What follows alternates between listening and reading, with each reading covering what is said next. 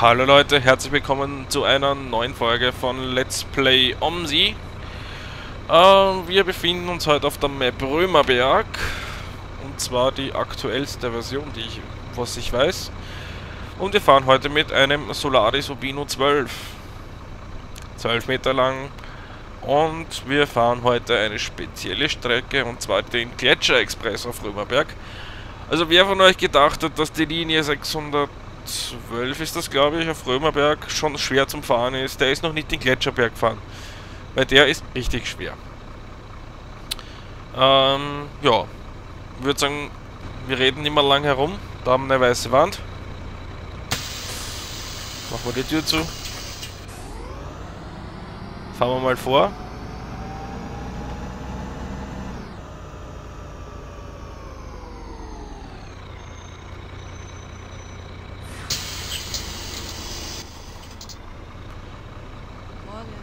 Morgen. Hallo. So, wir haben jetzt noch ungefähr eine Minute zur Abfahrt. Ähm, ich muss dazu sagen, ich bin erstens um sie schon länger nicht mehr gefahren und zweitens die Strecke noch gar nicht. Also, ja, das wird spannend, ob wir da ohne Zwischenfall raufkommen oder nicht. Aber ich habe mir schon ein, ein Video angeschaut und die Strecke hat es in sich. Aber ich glaube, das schaffen wir schon. Ich bin zuversichtlich. So, wie schaut's aus? Halbe Minute noch. Ja, machen wir mal da mal zu.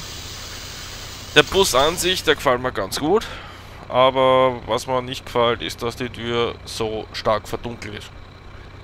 Also beim Abbiegen ist das ein bisschen bescheiden. Nehmen wir es mal so hätte man, ich finde, man hätte es machen müssen, dass die Verdunklung erst ab der zweiten Scheibe ist, also ab der ersten Scheibe nach der Tür ist.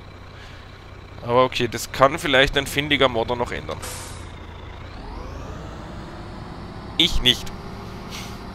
Also ich bin kein Modder, ich bin kein Grafiker, ich bin Fahrer.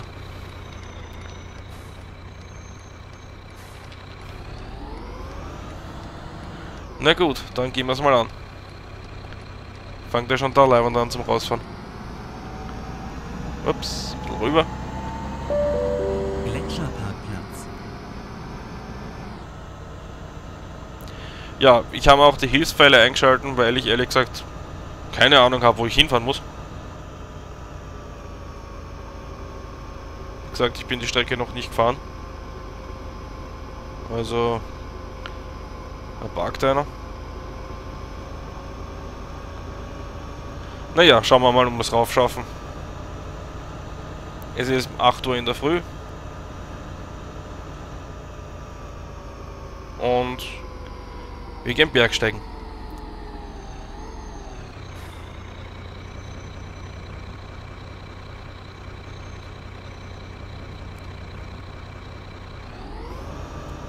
Gut, 208 links, 60 N links.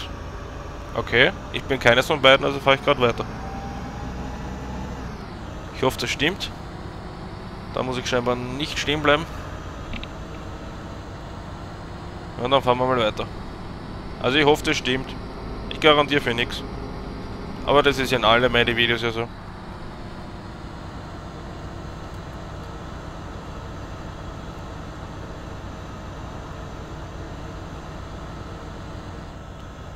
Garantien gibt es in meinen Videos nicht.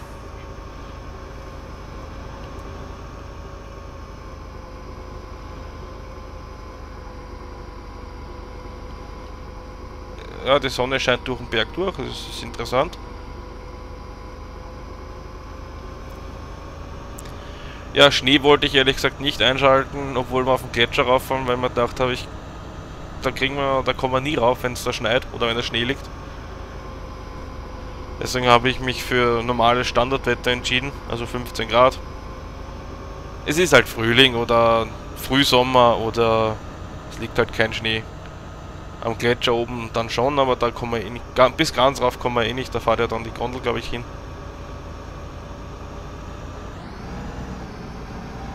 Wir fahren ja nur zur Talstation von der Gondel. Den Rest müssen die lieben Fahrgäste mit, äh, der Gondel zurücklegen.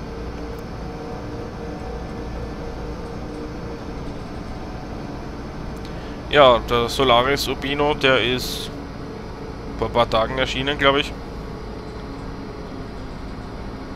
Ähm, ja, ich glaube mittlerweile ist der Link wieder weg, also ich weiß nicht warum. Aber ich hatte Glück und habe ihn noch erwischt. Okay, das ist grün, sehr schön. Und da müssen wir links abbiegen.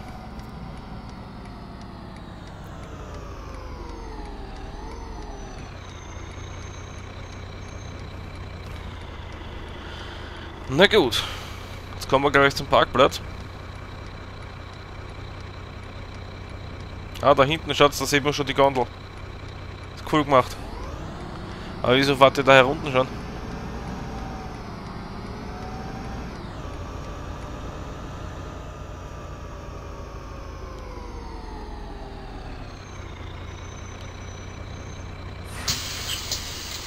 Hereinspaziert. Ist wagemutigen Hallo. Leute. Mir ist das zu kalt hier im Bus. Wurscht. Hättest du. Guten Morgen. Kann mir leider Hallo, nicht um alles kümmern. Knefrau. Hallo. Das ist echt, das ist echt un unglaublich. Guten Morgen. Hallo. So, was sagt denn die Zeit? Leider zeigt mir das die die Kasse scheinbar nicht an. Steigt er wieder aus. Verschwindet er. Okay, die Laufwege sind scheinbar noch nicht ganz optimal.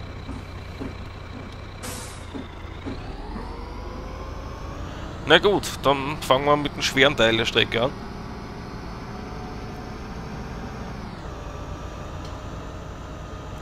Was ich weiß, gibt es auf der Linie keinen Gegenverkehr.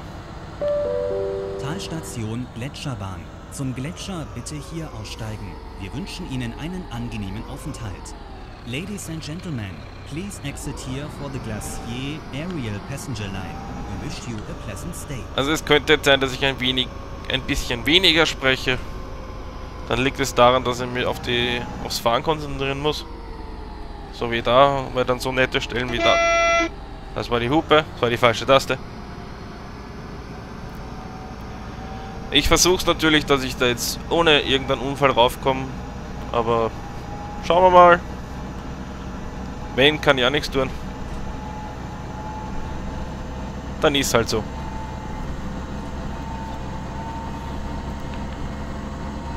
Aber die Strecke ist auch sehr anspruchsvoll, also seht es mir nach, falls ich doch den einen oder anderen Unfall baue.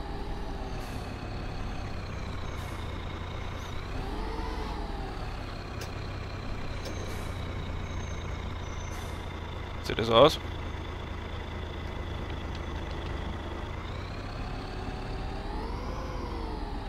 Äh. Knapp, aber geht sich aus.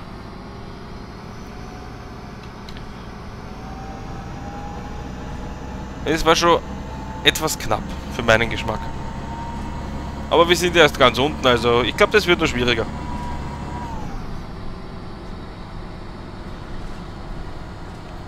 Und mir ist jetzt eigentlich die Zeit auch komplett wurscht.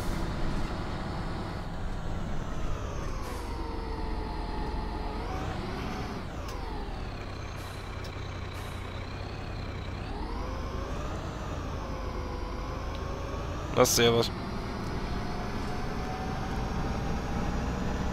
Und da unten waren wir gerade, da unten ist der Parkplatz. Also, ich muss sagen, der Mapper hat sich echt Mühe gegeben mit der Map. Jetzt muss ich nur ohne Unfall... fällt da- der Scheiße. Oh, Oh, der das Scheiße. ist. Was denn? Ich hab keinen Führerschein. Noch immer nicht.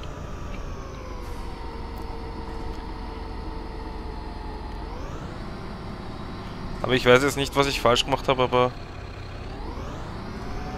Naja, egal. Vielleicht bin ich schnell gefahren, das kann natürlich sein. Ich glaube, wenn ich von der Gegend gefahren wäre, hätten sie mir geschrien.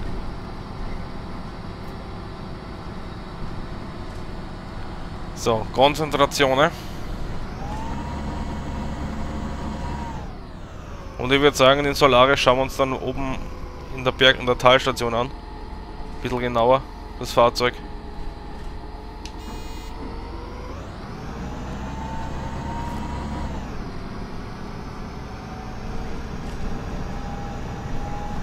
Machen wir eine kleine, ich würde sagen Roomtour, nein, eine Bustour.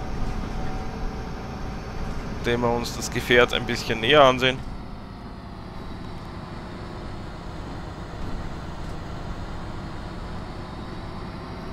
Also manche Stellen sind schon nicht einfach.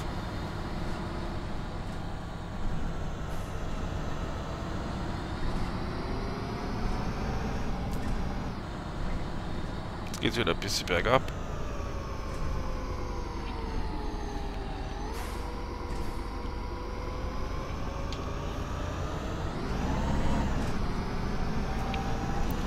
Kurz die Maus bewegen, weil sonst meint Windows, ich drück nichts und schaltet man irgendwann den Bildschirm ab. Das ist aber nur bei Omsi so. Beim Eurotruck ist mir das noch nie passiert. Obwohl ich da auch mit dem Lenkrad fahre. Also ganz nachvollziehen kann ich das nicht.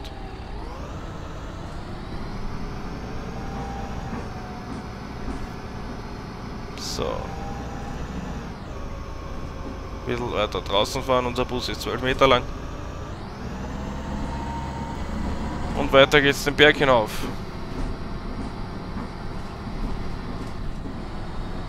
Geht sich alles aus. Stell mir runterfahren, stelle ich mir fast schwieriger vor. Weil es da Bremsen auch noch musst. Ha.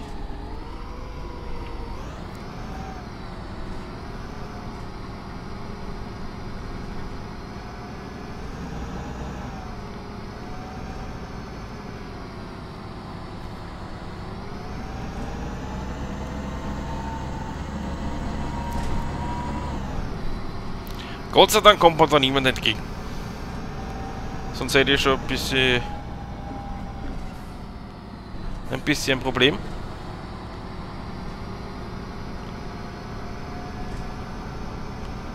Und angeblich kann man alle Kurven mit einem Zug fahren, ohne zurückschieben. Schauen wir mal, ob uns das gelügt. Oder auch nicht. Okay, da kommt so eine enge Kurve. Aha, okay. Ah, an die Stelle kann mich erinnern aus dem Video.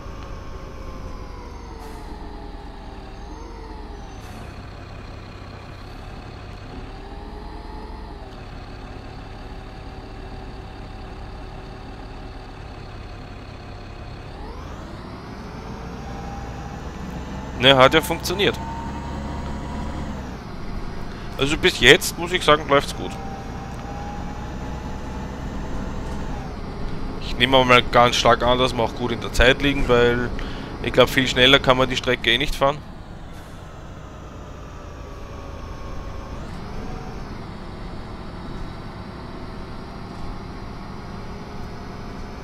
Gebt mir eh schon die äußerste Mühe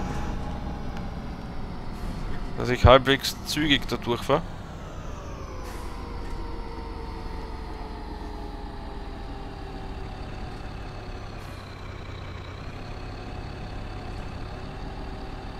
So, konzentrieren ein bisschen. Na bitte. Und die hätten wir auch geschafft. Jetzt drücke ich schon wieder fast auf die Hupe. Die meiner Meinung nach die schrecklichste Hupe in einem Bus ist, die ich je gehört habe.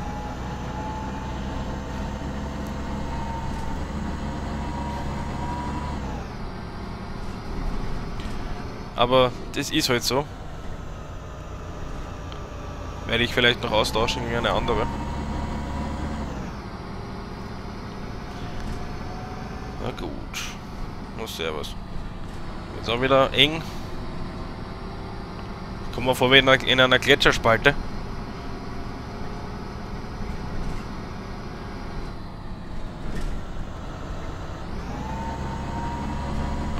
Aber heute prügeln wir unseren Solaris auf den Berg rauf.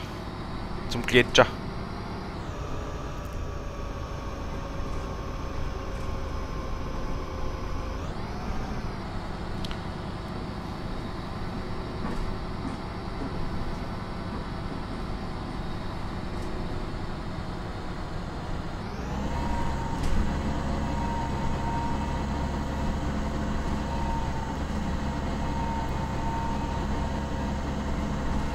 Aber ich glaube, dass wir schon einen Großteil der Strecke hinter uns haben.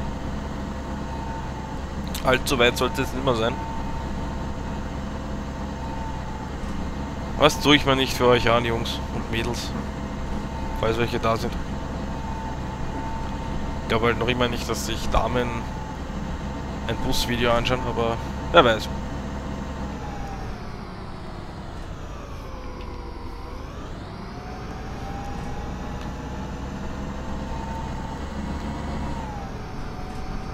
Naja, bis jetzt kaum Gemecker.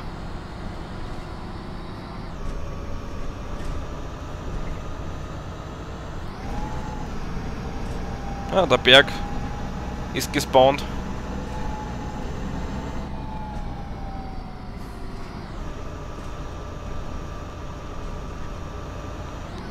Oh, die Brücke. Ich glaube, auf der fahren wir gleich. Wenn ich mich jetzt richtig erinnere an das Video. Wie gesagt, ich habe mir schon ein Video angeschaut, aber selber gefahren bin ich es noch nicht.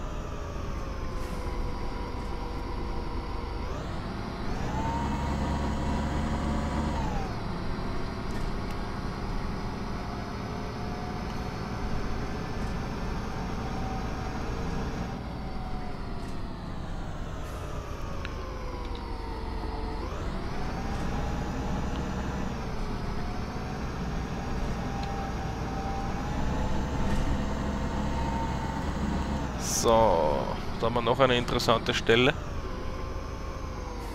Aber ich glaube, da müssen wir ein bisschen ausholen einfach. Dann schaffen wir auch das in einem Zug.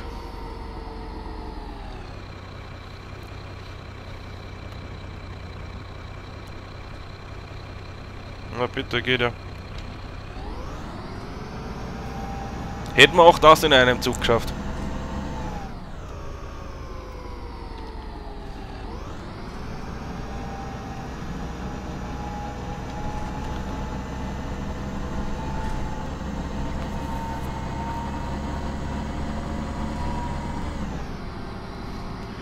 Ich glaube, die Fahrpraxis macht sich schon bezahlt.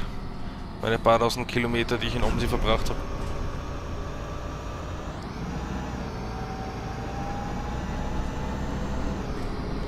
Und ich glaube, wir sind da. Sehr geehrte Fahrgäste, ich wünsche Ihnen einen wunderschönen Aufge Aufenthalt am Gletscher. Kommen Sie mal gesund wieder zurück. Und fahren Sie mit uns wieder ins Tal hinab. Bitte beachten Sie auch den Betriebsschluss des Busses.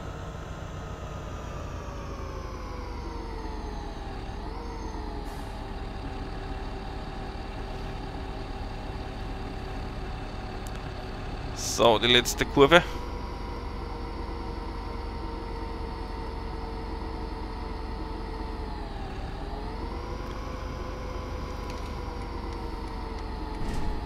Das war der Randstein.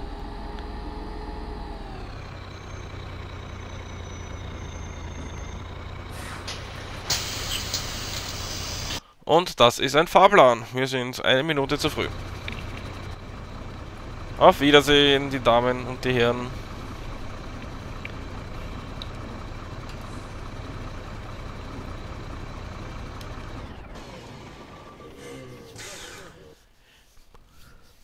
So, dann würde ich mal sagen, wenn wir jetzt schon da stehen, dann schauen wir uns einmal unser Fahrzeug an.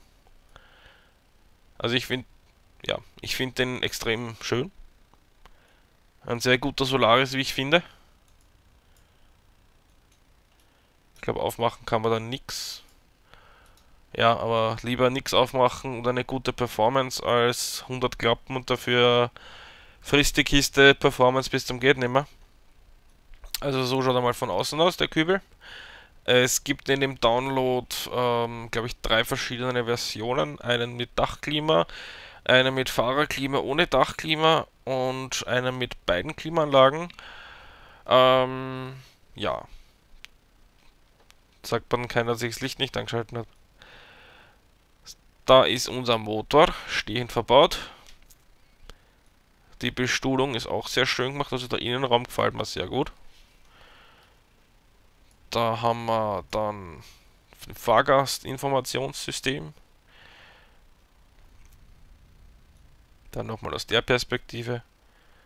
Also ich finde den Bus echt gelungen, der gefällt mir sehr gut. Die Tür hat natürlich einen Warnton.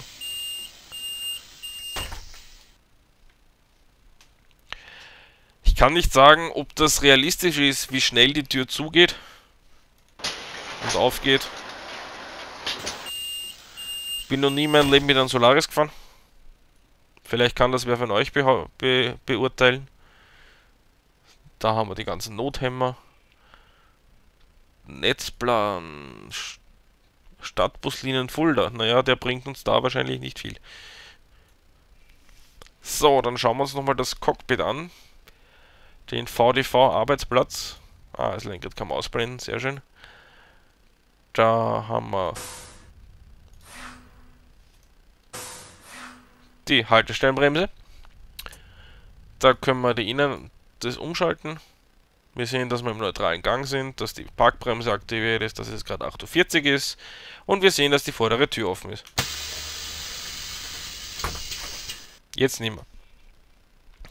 Dann können wir da uns den Öldruck und das Ganze anschauen. Öldruck okay. Ja, freut mich. Ja, was haben wir da? Die ganzen Lichteln. Für die Haltestellenbremse, für die Rollstuhlrampe. Ja, und da sieht man auch, dass die Haltestellen, ah, die Feststellbremse aktiviert ist. So, was haben wir da? Retarder. ASR zum Abschalten. Ah, geht das? Ja. Kann, damit kann man den Ramp, die Rampe ausfahren.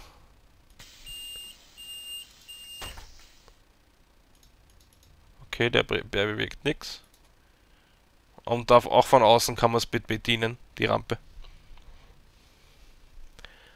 So, ist wieder eingefahren.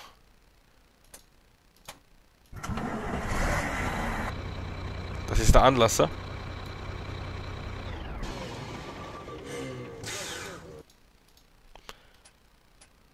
Okay, der Schalter bewegt sich leider nicht. Gut, was haben wir da noch? Einen Notaus. Die Klappen kann man scheinbar nicht steuern. Haltestellenbremse notlösen. Okay, sind aber nur Dummy-Tasten. Ja, ich habe den Bus erst gerade installiert, also ich habe mir noch nicht so genau angeschaut. Äh, zack. Hoppala. So, was haben wir da noch? Keine Ahnung. Kneeling. Anscheinend. Wo er gleich mal im Boden versinkt. Äh, ist ein bisschen übertrieben.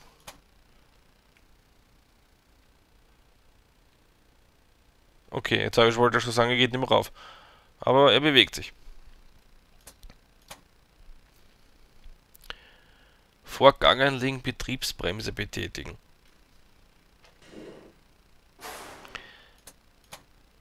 Okay, da funktioniert die auch. Nein. Gut, die Türflügelschwere funktioniert nicht.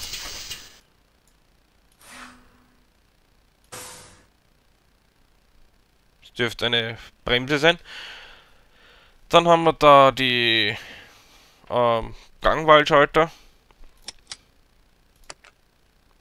Und was mir besonders an dem Bus gefällt, wenn man den Rückwärtsgang eingibt, einlegt, hat man da schön eine Rückfahrkamera. Sehr hilfreich. Und sobald man die rausgibt, ist natürlich wieder weg. Dann haben wir da unsere Kassa. Wie gesagt, in jedem Bus ist eine andere Kasse verbaut. Kann man die ganzen Sachen auswählen, Kurzstrecke, Fahrschein, Fahrschein Spezial, Ticket und den ganzen, das ganze Zeug. So, Fahrzeit-Differenz. Ah, da schreibt er die Zeit hin. Ich verstehe, 17. Das heißt, wir haben 17 Minuten. So, Tagesticket normal. Kommt da oben raus. Ja, die Kasse ist ganz nett. Was steht auf dem... Kann man lesen, was auf dem Schild da steht? Ah, die Fahrzeugnummer, okay. Man kann dem Fahrzeug ein eigenes Kennzeichen geben.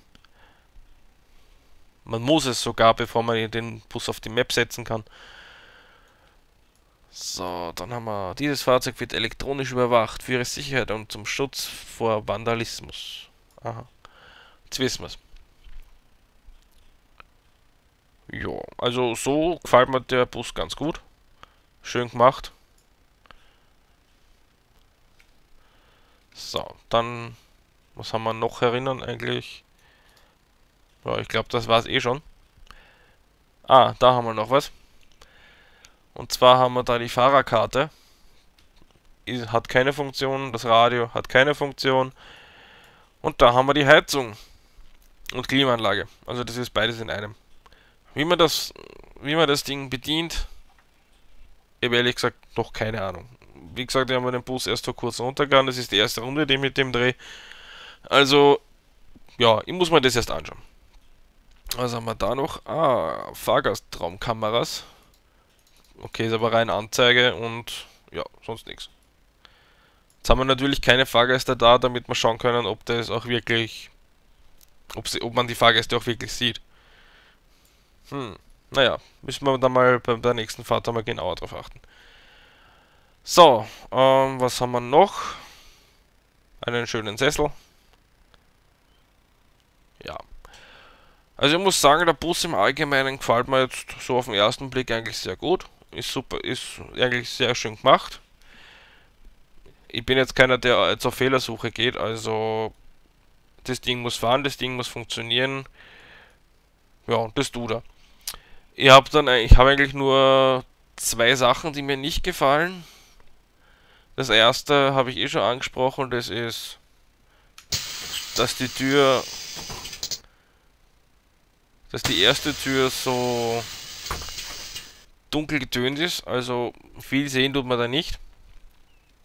Kann man aber ehrlich gesagt auch nicht vorstellen, dass es in echt so ist, weil wenn ich als Fahrer, ähm, wie soll ich sagen, wenn ich da rausschaue, sehe ich, ob da was kommt. Wenn ich da rausschaue, sehe ich nicht, ob was kommt.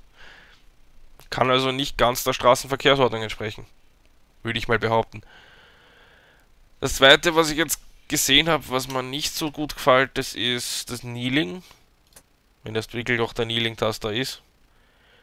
Dass sich der Bus so stark neigt. Also der verschwindet ja schon fast im Boden. Ich glaube, das sollte man vielleicht noch ein bisschen überarbeiten, weil das ist einfach nur unrealistisch. Und schaut auch gerade im vorderen Bereich nicht wirklich schön aus. Schaut eher aus, als wäre die Achse gebrochen vorne, als ist Kneeling. Ja, ich würde sagen, das war mal, das war's mal fürs Erste mit unserer Tour in Römerberg. Vielleicht werden wir noch die eine oder andere Linie fahren, weil in der V2 ist das jetzt, glaube ich, äh, hat sich ja auch zum Beispiel die Nachtbuslinie verändert. Vielleicht werden wir die mal fahren als nächstes. Schauen wir mal. Aber dann vielleicht auch mit dem, wahrscheinlich wieder mit Mercedes. Okay, ich würde sagen, wir machen da jetzt Schluss für heute. Ich hoffe, die Fahrt hat euch gefallen. Und ihr wart zufrieden mit meinem Fahrstil, nenne ich es mal. Ähm, ja, mich würde es freuen, wenn wir uns in der nächsten Folge dann wiedersehen. Also, bis zum nächsten Mal. Tschüss.